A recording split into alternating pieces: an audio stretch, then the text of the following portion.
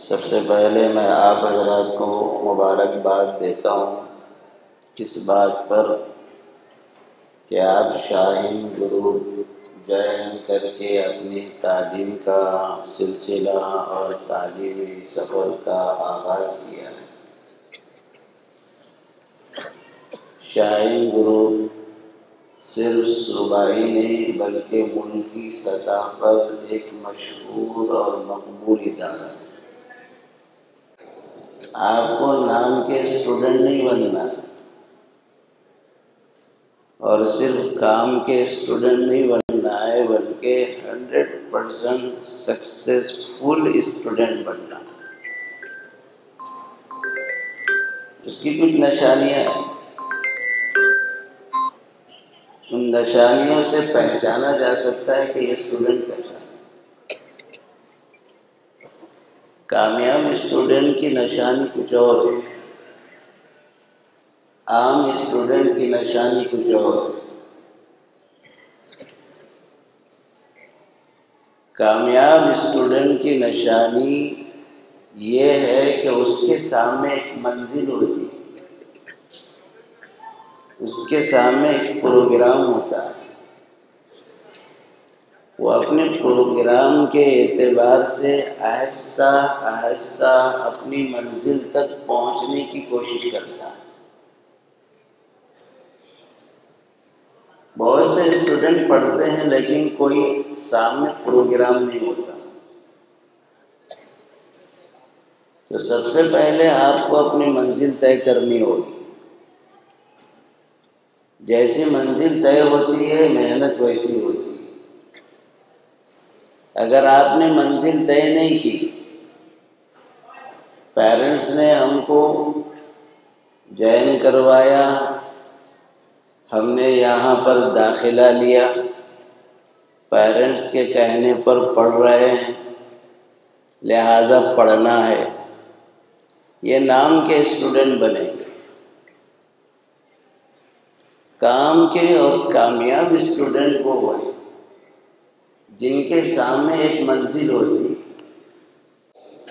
जो स्टूडेंट अपनी मंजिल तय करते हैं और उसी के बकदर जद्दोजहद करते हैं तो वो हंड्रेड परसेंट कामयाब और उनकी मंजिल बहुत जल्द तय होती। इसलिए तमाम स्टूडेंट से मेरी गुजारिश, जिस फ़ील्ड में भी आप जाना चाहते हैं आप अपनी मंजिल तय करें। और उस मंजिल को सामने रखकर आप आगे बढ़ेंगे दिन ब दिन तो फिर आप एक बहुत काबिल, बहुत माहिर, बहुत बासलाहियत इंसान बनकर निकलेंगे। ये पहली निशानी है सक्सेसफुल स्टूडेंट की। दूसरी निशानी स्टूडेंट इसको अरबी में तालब इल्म कहा जाता है। अरबी में तालब इल्म। और तालिब का जो लफ्ज़ है, वो तलब से निकला। और आप अच्छी तरह जानते हैं, जब तक किसी को किसी चीज़ की तलब होती है, जब तक वो हासिल न हो, बेचैन होता आप स्टूडेंट जब हैं, तालब इल्म जब हैं, आप पर पढ़ने लिखने की धुन सवार हो। और तलब सवार हो। जब तक आपकी ये तलब पूरी न हो, मुस्तकिल आपका दिलो दिमाग पढ़ने, लिखने, काबिल बनने, जद्दोजहद करने की तरफ़ तवज्जो। जब तक के शौक, ज़ौक, धुन अपने ऊपर आप सवार नहीं कर लेंगे, आप कोई काबिल इंसान नहीं बन सकते। इसलिए दिन और रात अपने औकात जो खेलने के हैं, तफरी के हैं, दिमाग को इसकी तरफ़ भी ज़रा फ्री करना ज़रूरी है। ताकि पढ़ने में ज़्यादा से ज़्यादा जस्तजू हो। तीसरी निशानी सक्सेसफुल स्टूडेंट की 100 परसेंट कामयाब होने वाले स्टूडेंट की तीसरी निशानी ये है कि वो खैरुन्नास मैन फ़ुन्नास का मज़हब जहाँ भी हूँ मैं लोगों को नफ़ा पहुँचाऊँ। मेरी ज़ात से दूसरे को नफ़ा पहुँचे। मेरा पड़ोसी है, मेरी ज़ात से उसको नफ़ा पहुँचे। बेनिफिट अपनी ज़ात से दूसरे को बेनिफिट पहुँचाने का एहतमाम करना। इसीलिए हदीस में भी कहा गया खैरुन्नास मैनफ़ुन्नास लोगों में बेहतरीन इंसान वो है जो दूसरों को ज़्यादा से ज़्यादा बेनिफिट पहुंचाता हो। रसूलुल्लाह सल्लल्लाहु अलैहि वसल्लम पूरी इंसानियत में सबसे ज़्यादा आगे। तो फिर आपकी उम्मत को भी आगे होना चाहिए। तो ये बात अच्छी तरह जहन नशी रखें। बहुत से लोग कमर्शियल लैंड से जो आगे बढ़ते हैं, वो लोगों को नफ़ा नहीं पहुँचा सकते। खैरुन्नास मैनफ़ुन्नास को समझने के लिए सबसे बेनिफिट पहुँचाने वाला जो इंसान होगा, वो सबसे ज़्यादा बेहतर होगा उसके लिए आपके स्कूल के बानी व मुआसिस आली जनाब अब्दुल कदीर साहब मदज़िल्लाहुल आली की फ़िक्र को देखिए। सत्ताईस साल पहले यहाँ कुछ नहीं था, अभी ज़िक्र फरमा रहे थे। बस यही फ़िक्र थी, मेरी ज़ात से कौम को फ़ायदा पहुँचे, मेरी ज़ात से इंसानियत को फ़ायदा पहुँचे। मेरी ज़ात से मुल्क के बाशिंदों को फ़ायदा पहुँचे। बिला लिहाज मज़हब मिलत के सब आदम की औलाद हैं। एक अज़्म जो उन्होंने लेकर आगे बढ़ा है तो आप देखिए, उसकी जो नफ़ा है, उसका बेनिफिट है, जो सिर्फ़ बीदर में नहीं है, बल्कि पूरे मुल्क के अंदर आपके इज़्ज़त माब अब्दुल कदीर साहब की बेनिफिट को लोग महसूस कर रहे हैं। आपके लिए बड़ी मिसाल है। तो इसलिए आपको इस बात की फ़िक्र करना है। मेरी ज़ात से बेनिफिट पहुँचे मेरे टीचर को पहुँचे मेरे कॉलेज के बानी को पहुँचे मेरे माँ बाप को पहुँचे मेरे भाइयों को पहुँचे, बल्कि मेरी ज़ात से सारी इंसानियत को बेनिफिट पहुँचे, जो इस स्टूडेंट इस लाइन में आगे बढ़ता है, वो ये समझ ले, वो सक्सेसफुल स्टूडेंट है। और एक निशानी, कामयाब स्टूडेंट की यह भी है, वो अखलाक वाला अखलाक वाला हो। अखलाक का मतलब क्या है?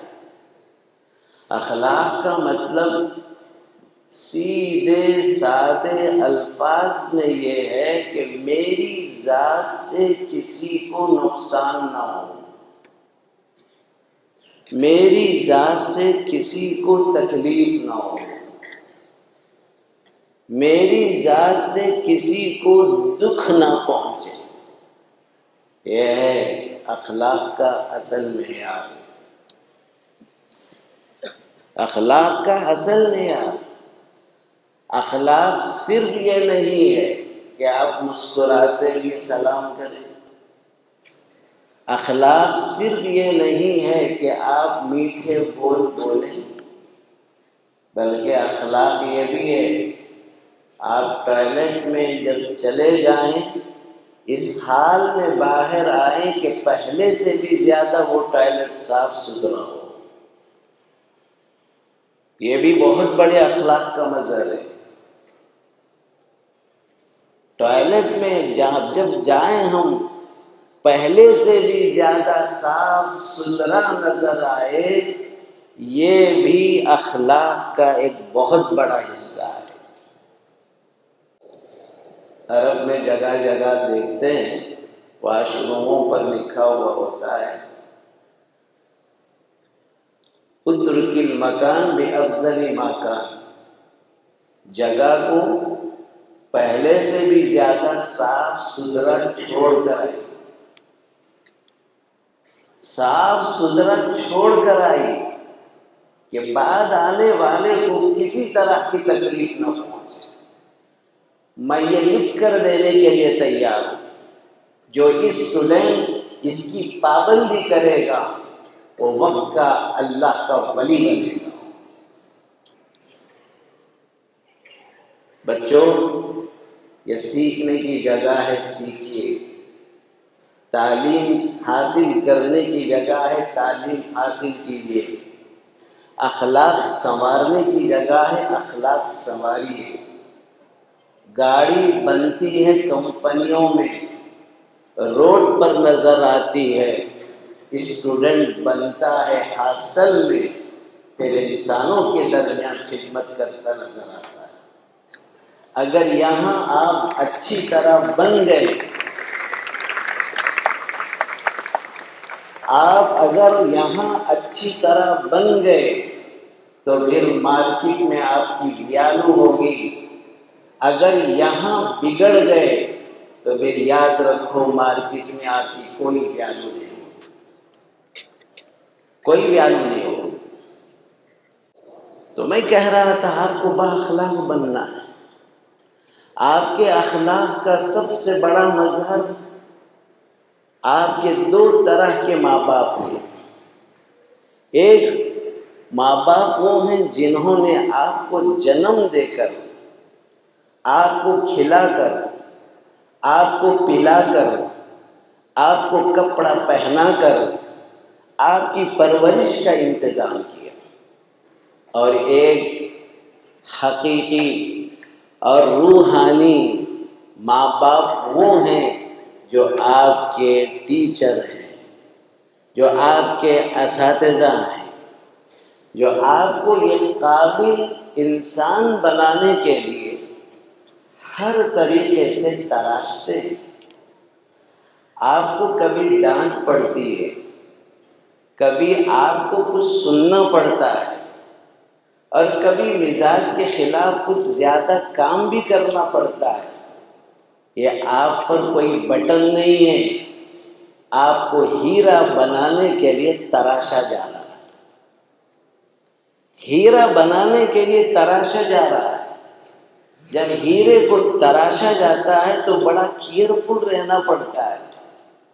कितना तराशना है, कितनी मकदार तराशना है, कहाँ से तराशना है, कौन सा हिस्सा एक्स्ट्रा है, कौन सा एक्स्ट्रा नहीं है उस एतबार से आपके इस आपकी तरबियत करते हैं। इसलिए आपके रूहानी माँ बाप जिस्मानी खूनी माँ बाप का जहाँ एहतराम ज़रूरी है, वैसे ही रूहानी माँ बाप का एहतराम भी आप लोगों पर ज़रूरी आप लोगों पर ज़रूरी तो अज़ीज़ बच्चों, आप एक बाखलाक इंसान बने।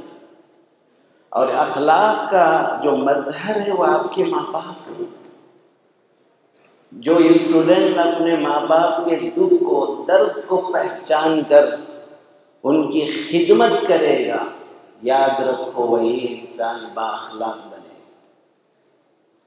अगर आपने अपने माँ बाप को दुख नहीं पहुँचाया, सुख नहीं पहुँचाया, बल्कि दुख पहुँचाया और अपने खालिक की कितनी ही तुमने बड़ी इबादत की हो, याद रखो अल्लाह जन्नत उस वक़्त तक मुकद्दर नहीं फरमाते जब तक कि तुम अपने माँ बाप को राज़ी न करो। कुरान मजीद में अल्लाह ने साफ़ फरमाया, सबसे पहला हक यह है कि तुम अल्लाह की बंदगी करो। दूसरा हक ये है कि तुम अपने माँ बाप के साथ हुस्न सलूक अल्लाह ने अपने हक के साथ माँ बाप के हक को इसलिए जोड़ा है। अल्लाह भी मोहसिन है माँ बाप भी मोहसिन है। फ़र्क ये है, अल्लाह दिखाई नहीं देते माँ बाप दिखाई देने वाले मोहसिन है।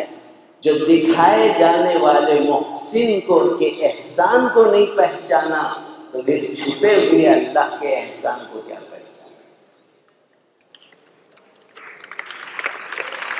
इसलिए अज़ीज़ तलबा, आपके मतमह नज़र, जो माँ बाप आपके लिए, आपको काबिल बनाने के लिए, आपको एक मंजिल तक पहुँचाने के लिए कितनी फिक्रें करते हैं, कितने जतन उठाते हैं। मेरा बच्चा पढ़ लिख कर काबिल बन जाए, मेरा बच्चा पढ़ लिख कर एक अच्छा डॉक्टर बन जाए पढ़ लिख कर एक अच्छा इंजीनियर बन जाए। बड़ी मुश्किलों से अपने पेट को काट काट कर आपकी फ़ीस का अहतमाम करते पर बहुत अफसोस बदबक है वो इंसान जिसने माँ बाप के एहसान को लेने के बाद अपने माँ बाप की खिदमत को फरामोश कर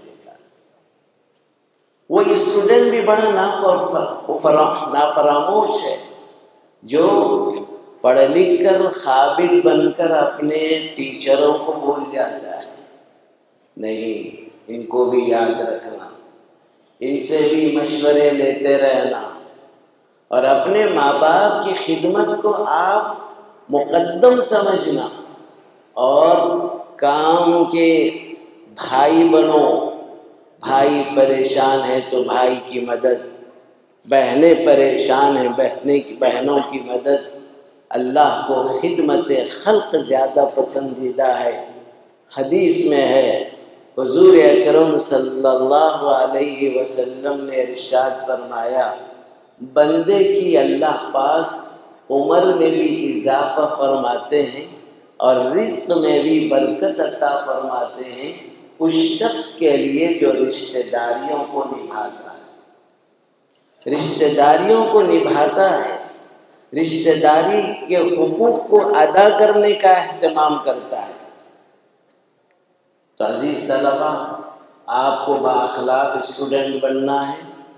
बाखलाक स्टूडेंट की एक बड़ी निशानी ये है आपके मुंतजिमा में से किसी को आपसे मुतालिक कोई शिकायत ना हो। किसी भी डिपार्टमेंट को आपसे शिकायत ना हो। आपका जब नाम आए, आपके सार से लेकर वॉचमैन तक कहे, वो बच्चा इतना अच्छा अखलाक वाला है, कभी बढ़ चढ़कर ज़ुबान से बड़ी बात नहीं की और कभी बदतमीजी नहीं।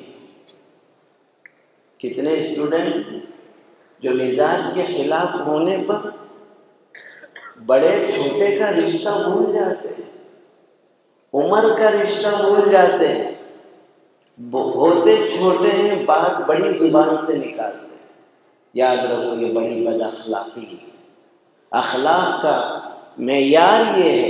रसूलुल्लाह सल्लल्लाहु अलैहि वसल्लम ने इरशाद फरमाया बड़ों का इकराम करो, बड़ों का अदब करो, छोटों के साथ शफकत से पेश आओ जो बड़ों का अदब करेगा, छोटों के साथ शफकत के साथ पेश आएगा, वो कामयाब स्टूडेंट है और वो अल्लाह उसके रसूल की नज़र में कामयाब ईमान वाला है।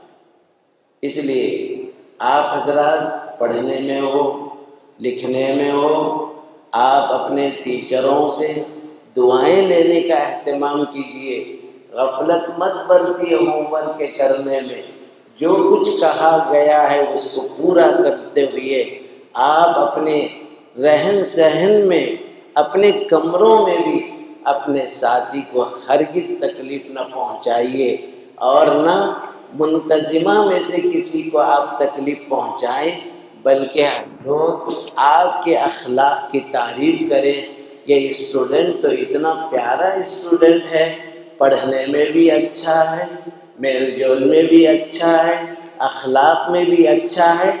आपका पूरा स्टाफ आपकी तारीफ़ करने वाला बने। वो है कामयाब स्टूडेंट, वो है बाखलाक स्टूडेंट। बस दुआ है परवरदिगार आलम। हम सबको एक अखलाक वाला इंसान बनाए और आपको एक माहिर से माहिर, कामिल से कामिल, आला से आला इंसान बनाए। वमालना व आखिर